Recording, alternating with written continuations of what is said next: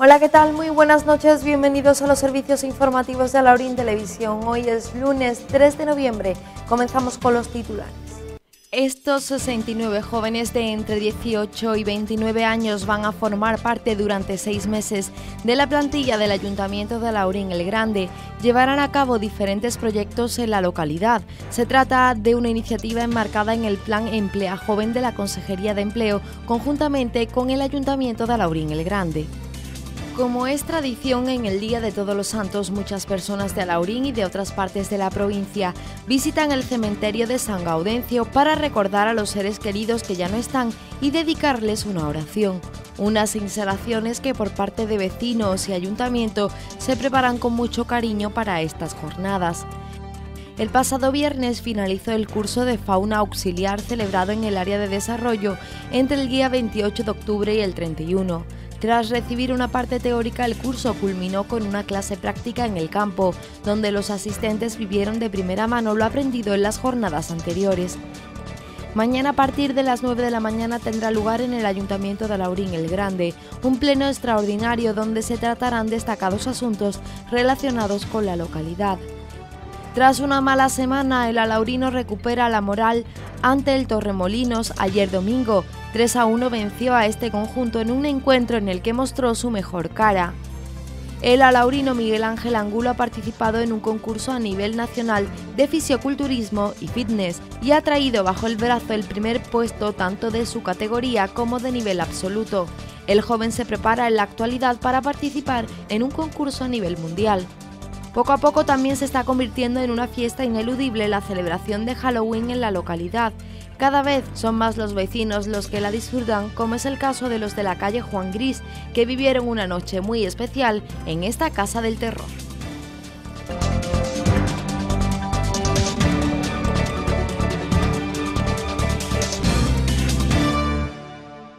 Comenzamos. Hoy ha tenido lugar la primera toma de contacto de las 69 personas que van a trabajar durante seis meses en las diferentes áreas del ayuntamiento de la localidad. Una iniciativa enmarcada en el plan Emplea Joven que conjuntamente con el consistorio laurino ayudarán a estos jóvenes de entre 18 y 29 años a ampliar su currículum y experiencia.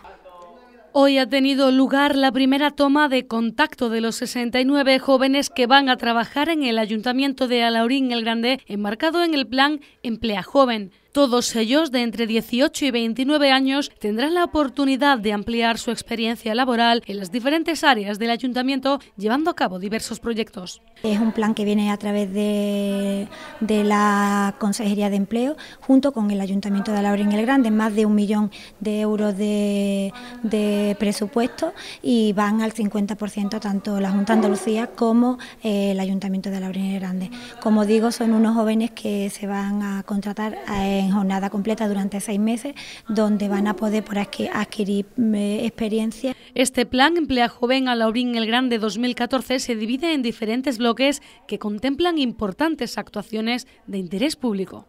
Desde el ayuntamiento se han preparado una serie de proyectos y bloques de actuación eh, que se ajustan al decreto ley específico y que son los siguientes. Eh, en primer lugar, cuidados asistenciales y prestación del servicio de ayuda a domicilio es un bloque de trabajo. Después tenemos lo que es revalorización de espacios públicos urbanos, es un proyecto bastante importante y aquí pues podemos destacar lo que es el Parque de la Villa, eh, también las obras de mejora y rehabilitación en el Camino Málaga y después pues también destacamos pues el parque en la pedanía de Villafranco del Guadalhorce. Eh, por otro lado, se va a trabajar en lo que es la promoción y desarrollo del comercio y de los productos locales, eh, después promoción y desarrollo cultural Vamos a trabajar también en lo que es la gestión del agua y de residuos para la concienciación y la mejora en este campo. Y por último, trabajaremos en lo que es la promoción eh, del turismo y del deporte. Una buena noticia tanto para estos jóvenes como para el consistorio, que se muestra muy contento por la oportunidad que les ofrece a estos jóvenes. Decir que las administraciones debemos de estar para esto, para trabajar codo con codo y en este en el día de hoy pues felicitarnos todos, tanto la Junta como el Ayuntamiento por poner en marcha este programa tan importante y que le va a dar la oportunidad a estos 69 jóvenes de poder eh, adentrarse en el mundo laboral y, y sobre todo pues adquirir esa experiencia tan necesaria. Los nuevos 69 trabajadores del consistorio se mostraban esta mañana muy ilusionados y con ganas de comenzar su nueva andadura. Bueno, las expectativas son de, cumplir todo lo que el ayuntamiento se proponga dentro del programa. Yo estoy dentro de del programa deportivo, así que espero eh, realizar las funciones adecuadas para promocionar sobre todo el deporte en la localidad de Alaurín y Grande. Bueno, muchas ganas de aprovechar la oportunidad que me ha ofrecido el Ayuntamiento de la Alaurín y Grande para trabajar y dar lo máximo de mí. Una oportunidad que no puedo desaprovechar para coger experiencia que viene siempre muy bien para crecer profesionalmente? Bueno, pues yo acabé la carrera en, julio, entonces la verdad que lo que quiero es aprender competencias sobre lo que es mi carrera y ampliar conocimientos y sobre todo pues si es en el pueblo y colaborando para lo que son nuestros vecinos, pues la verdad que es mucho mejor.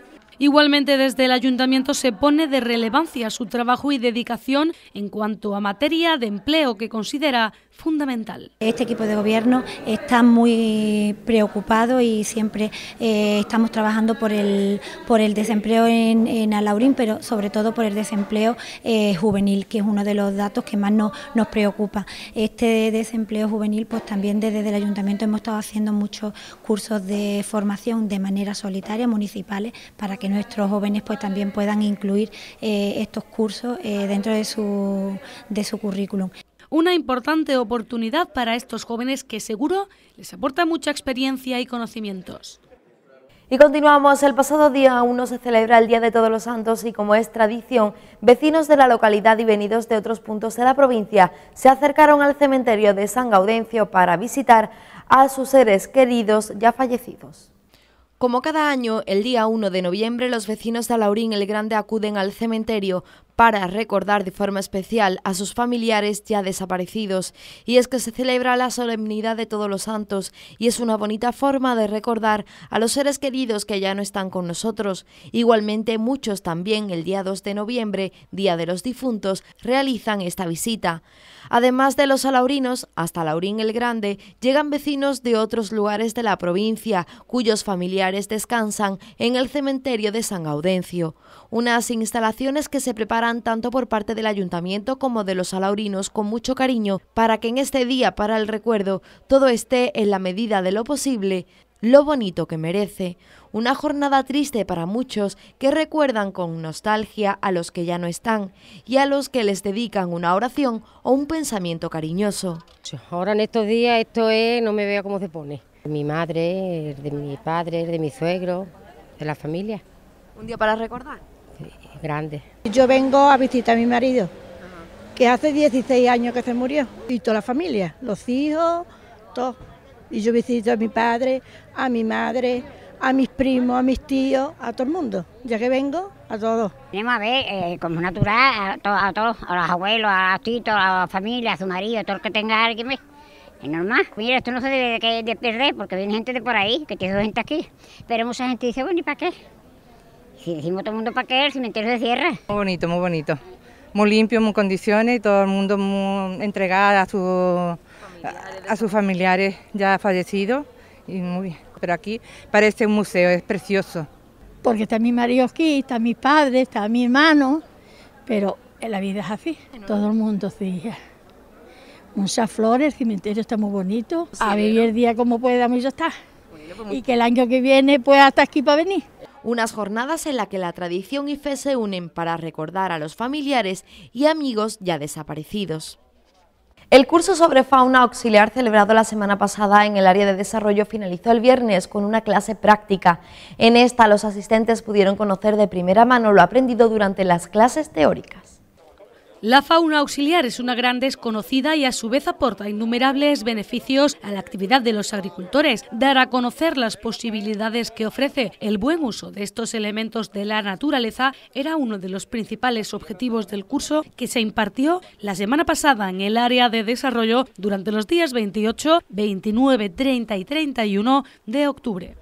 Pues hasta ahora pues lo que hemos visto sobre todo es una parte un poco teórica y bueno, apoyada siempre con ejemplos concretos, pero bueno, en sala. Entonces pues qué mejor que comprobar un poco directamente en el campo pues eh, lo que hemos visto y ver insectos directamente en el campo, ¿no? Los asistentes pudieron ver en las aulas, durante la parte teórica y a pie de campo en la parte práctica, qué miembros del ecosistema son favorables a los agricultores y qué beneficios traen. Y estamos aquí en el cuarto día de curso, en la finca de nuestro compañero, observando y capturando ejemplares para, estudiarlos y para entender cómo se, cómo se mueven en una finca ecológica como esta, donde hay mucha vegetación y bueno, eso es interesante para, para todos los compañeros que están trabajando en ese tema de cuidar el suelo y de los eh, minerales y microorganismos. Las abejas que sirven para la polinización o el reciclaje de materia orgánica en el suelo, que sirven como abono, fueron algunos de los temas abordados durante estos días de curso. Asimismo, el control de algunos insectos que pueden crear plagas, en algunas circunstancias conocidos como enemigos naturales, también fue un tema en el que los asistentes recibieron formación. Por tanto, el total de horas del curso fue de 14, un curso que ha finalizado con unos grandes resultados y que ha cumplido su fin, sacar el máximo rendimiento a la agricultura de la zona. Y a continuación les informamos de que mañana a partir de las 9 de la mañana se celebrará una sesión plenaria con carácter extraordinario en el Ayuntamiento de Alaurín el Grande. A partir de las 9 de la mañana tendrá lugar en el ayuntamiento una sesión plenaria extraordinaria en la que tras la aprobación del acta de la sesión anterior se tratará un punto sobre un expediente de adjudicación provisional de la nueva operación de endeudamiento para la cancelación de la deuda pendiente con el Fondo de Financiación de Pago a Proveedores. El tercer y último punto será la aprobación inicial de un expediente de modificación presupuestaria mediante suplemento de crédito. Continuamos con deportes. Ayer domingo se vio la mejor versión del Alaurino. Tras una semana complicada por los últimos resultados, el equipo de Fernando Porto tumbó al Torremolinos y recorta puntos con los equipos que están en la cabeza de la tabla. El conjunto azulillo no solo desplegó el mejor fútbol de la temporada, sino que además contó con el factor suerte que le había dado la espalda en las anteriores jornadas. El gol de Quique en el minuto 22 fue un claro ejemplo. A pesar de empezar con el marcador a favor, el alaurino mantuvo el ritmo y en el 33 volvió a marcar. Quique fue el encargado de transformar un penalti que Argüello cometió sobre López. El Juventud de Torremolinos, hasta ahora invicto, era incapaz de frenar a los de Fernando Porto y en la segunda mitad encajaron el tercer tanto. Esta vez fue Burgos de tiro cruzado tras un pase de Quique que se convirtió en el héroe del partido tras esta asistencia y marcar dos goles. Es evidente que cuando las cosas se, toman con un compromiso 100% de todos los jugadores y con la actitud que han demostrado, y con las ganas de, agradar a su afición y de que bueno pues los, eh, eh, los fallos que tenemos o que hemos tenido en semanas pasadas pues que no se van a ocurrir. El Juventud de Torremolinos marcó el gol del honor en los últimos minutos, así que al final el resultado fue de 3 a 1, una victoria que le da mucha moral al equipo, que espera despegar definitivamente tras un inicio de temporada irregular. Bueno, lo más importante es que el Torremolinos no, no, se nos fuera a 7 a siete o 9 puntos, ¿no? pero eh, si es bueno, anímicamente nos va a venir muy bien el resultado. Eh, también es cierto que el Rincón al pinchar pues, eh, la clasificación arriba pues, se acorta un poquito más. esto es muy largo, eso va a ir partido a partido. El Alaurino es ahora séptimo, pero recorta puntos con la cabeza. Ahora el líder es el Dos Hermanas, que está a seis puntos, y esta semana el conjunto azulillo visita el campo de la Alameda. El alaurino Miguel Ángel Angulo ha participado recientemente en un concurso de fisioculturismo y fitness a nivel nacional y ha vuelto a casa con el título de campeón en su categoría y a nivel absoluto. La experiencia es un grado y es un valor que también le ha servido a Miguel Ángel Angulo para traerse para casa el título de campeón en Men's Physique, tanto en su categoría como a nivel absoluto. Salí en mi categoría, que es Men's Physique, en mi talla, que es talla baja, conseguí ganar mi talla y después con el ganador de todas las tallas, pues conseguí ser el campeón absoluto de España, que es el mayor título que hay. Y es que este joven alaurino lleva varios años participando en este tipo de concursos de fisioculturismo y fitness, a los que empezó acudiendo en niveles regionales, donde solo competían deportistas andaluces. Allí comenzó a ganar sus primeros trofeos a nivel andaluz, donde de ocho competiciones a las que se presentó, ganó siete. En otras ediciones del concurso nacional, sus sienes ya habían rozado la corona de laurel, puesto que había quedado tercero, dos veces segundo y este año ya ha coronado el podio. Pues la verdad que empecé porque por casualidad vi un anuncio de una competición de esta categoría, no sabía de lo que iba, leí un poco en qué consistía, que buscaban un cuerpo desarrollado muscularmente pero no demasiado, definido pero tampoco demasiado, y que digamos la cara no desontonara mucho, o sea, que fuera un conjunto. Pensé, digo, hostia, ¿y por qué no? Si más o menos puedo encajar por ahí. Y probé y la verdad que empecé empecé ganando, o sea que mejor no pudo ir. Ángulo también ha participado en torneos europeos quedando quinto, lo que supone un logro bastante bueno. Mantener un cuerpo como el de Miguel Ángel no es cuestión de un día. Conlleva una preparación y una entrega muy grande, tanto así que de lunes a viernes entrena entre 45 minutos de ejercicio anaeróbico y media hora de cardiovascular. Aunque los músculos también necesitan descanso, es por ello que tres días a la semana nuestro campeón también se relaja. Tras ganar el campeonato español, Miguel Ángel Angulo participará el próximo mes de diciembre en el campeonato a nivel mundial. Y si antes les hemos hablado del Día de Todos los Santos, ahora les hablamos de una nueva fiesta que durante estos días se celebra y cada vez con más implantación en la localidad. Se trata de la noche de Halloween. Hola, buenas tardes. Estamos aquí en la Casa de los Muertos. Espero que disfrutéis de una auténtica noche de terror. Así recibían algunos vecinos de la calle Juan Gris a los pequeños que decidían visitar la Casa del Terror, la vivienda de unos vecinos que en la noche de Halloween sufría una extraña transformación y sus habitantes se convertían en verdaderos personajes de películas de miedo.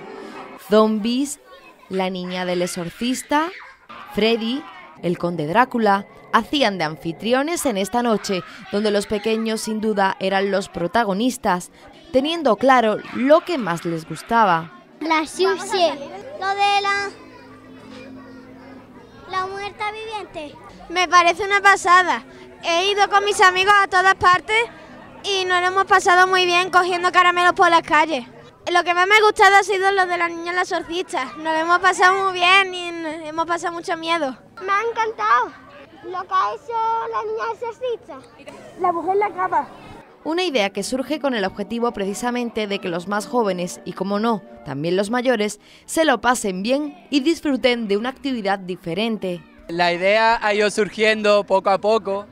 El primer año pues se fueron cogiendo cosas que teníamos por casa y poco a poco con la colaboración de nuestra familia y amigos esto ha ido creciendo y se nos ha ido de las manos ya un poco. Sin duda han pasado una noche de Halloween inolvidable. Seguro ya esperan con ganas la del próximo año. Y a continuación les damos la información del tiempo para mañana en Alaurín, el Grande y la provincia.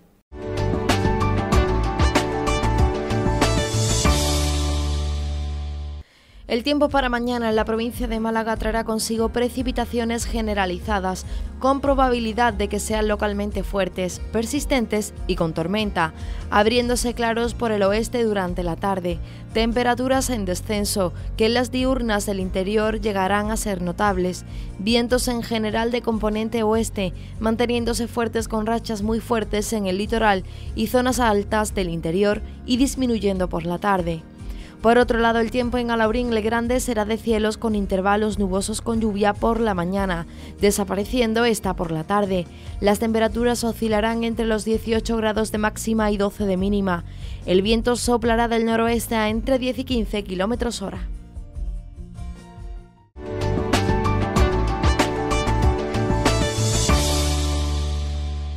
Y antes de finalizar hacemos un repaso de las noticias destacadas en los titulares. Estos 69 jóvenes de entre 18 y 29 años van a formar parte durante seis meses de la plantilla del Ayuntamiento de Alaurín el Grande. Llevarán a cabo diferentes proyectos en la localidad. Se trata de una iniciativa enmarcada en el Plan Emplea Joven de la Consejería de Empleo, conjuntamente con el Ayuntamiento de Alaurín el Grande. Como es tradición en el Día de Todos los Santos, muchas personas de Alaurín y de otras partes de la provincia visitan el cementerio de San Gaudencio para recordar a los seres queridos que ya no están y dedicarles una oración. Unas instalaciones que por parte de vecinos y ayuntamiento se preparan con mucho cariño para estas jornadas.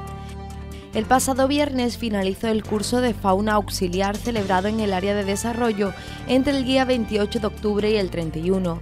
Tras recibir una parte teórica, el curso culminó con una clase práctica en el campo, donde los asistentes vivieron de primera mano lo aprendido en las jornadas anteriores. Mañana a partir de las 9 de la mañana tendrá lugar en el Ayuntamiento de Laurín el Grande un pleno extraordinario donde se tratarán destacados asuntos relacionados con la localidad.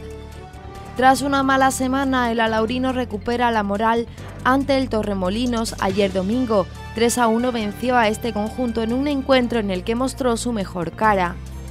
El alaurino Miguel Ángel Angulo ha participado en un concurso a nivel nacional de fisioculturismo y fitness y ha traído bajo el brazo el primer puesto tanto de su categoría como de nivel absoluto.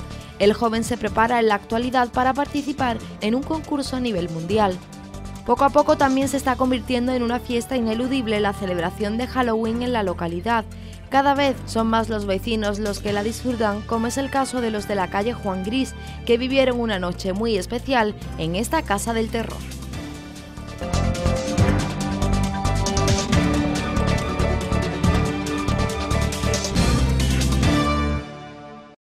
Y ya para finalizar les dejamos con eh, las imágenes del cementerio de San Gaudencio y de la visita de los alaurinos a estas instalaciones en el Día de Todos los Santos. Tras el informativo podrán ver el partido del Club Deportivo Alaurino contra el Torremolinos. Ya saben más noticias de su localidad de la página web rtvalaurinelgrande.com a través del canal de Alaurín, de Alaurín Televisión en YouTube y a través de Twitter, arroba rtvalaurin. Les esperamos en una nueva edición de los informativos mañana a partir de las nueve y media de la noche. Hasta entonces.